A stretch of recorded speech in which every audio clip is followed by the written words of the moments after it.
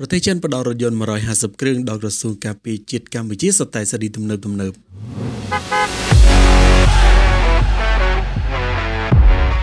យើងតាមទីភ្នាក់ងារសារព័ត៌មានកម្ពុជាហៅកាត់ AKP បានចុះផ្សាយថាកាលពីថ្ងៃទី1ខែកញ្ញាឆ្នាំ2022ម្សិលមិញនេះរថយន្តស៊េរីទំនើបចំនួន150គ្រឿងដែលផលិតនៅប្រទេសចិន និងសម្ភារៈការិយាល័យមួយចំនួនរបស់ក្រសួងការពារប្រទេសនៃសាធារណរដ្ឋប្រជាមានិតចិនត្រូវបានប្រគល់ដល់ក្រសួងការពារជាតិកម្ពុជាដែលនៅក្នុងកម្មវិធីនោះមានការចូលរួមក្រោមអធិបតីភាពរបស់សម្ដេចពិជ័យសេនាទាបាញ់ឧបនាយករដ្ឋមន្ត្រីរដ្ឋមន្ត្រីក្រសួងការពារជាតិនិងអាដាមវ៉ាងវិនធានឯកអគ្គរដ្ឋទូតនៃសាធារណរដ្ឋប្រជាមានិតចិនប្រចាំកម្ពុជានៅវិមានឈ្នះឈ្នះនាព្រឹកថ្ងៃទី1ខែកញ្ញាឆ្នាំ2022នេះ ទូយ៉ាងបើយោងតាមរូបភាពដែលបានផុសបង្ហាញនៅលើ page ផ្លូវការរបស់ក្រសួងព័ត៌មានក៏ដូចជាគេហទំព័រ AKP ដែលក្នុងនោះរថយន្ត150គ្រឿងគឺមានទៅតាមប្រភេទរថយន្តផ្សេងៗគ្នាដូចជាប្រភេទ sedan ប្រភេទ van bus ឬក៏យើងហៅថាឡានក្រុងនិងប្រភេទ SUV ជាដើមដែលក្នុងនោះគេឃើញមាន brand ឡានល្បីៗរបស់ប្រទេសចិនបានបង្ហាញខ្លួនដែរដូចជារថយន្តដែលផលិតដោយក្រុមហ៊ុន Hongqi ជាដើម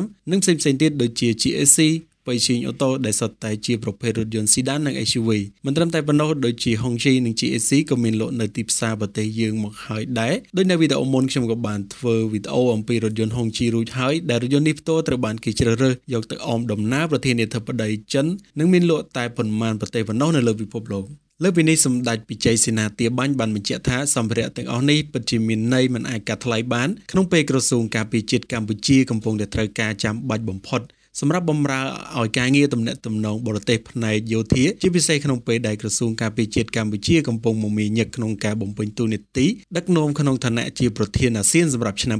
2022នេះប៉ុន្តែទោះជាយ៉ាងនេះក្តីសម្ដេចក៏យល់ឃើញថាសម្ភារៈដ៏មានតម្លៃទាំងនេះនឹងត្រូវយកទៅប្រើប្រាស់ក្នុងកិច្ចការសំខាន់មួយទៀតដែលមានទំនាក់ទំនងជិតស្និទ្ធជាមួយនឹងការងារទំនាក់ទំនងអន្តរជាតិនោះគឺការងារប្រវត្តិសាស្ត្រយោធាអរគុណបងប្អូនទាំងអស់គ្នាជួបគ្នានៅវីដេអូក្រោយ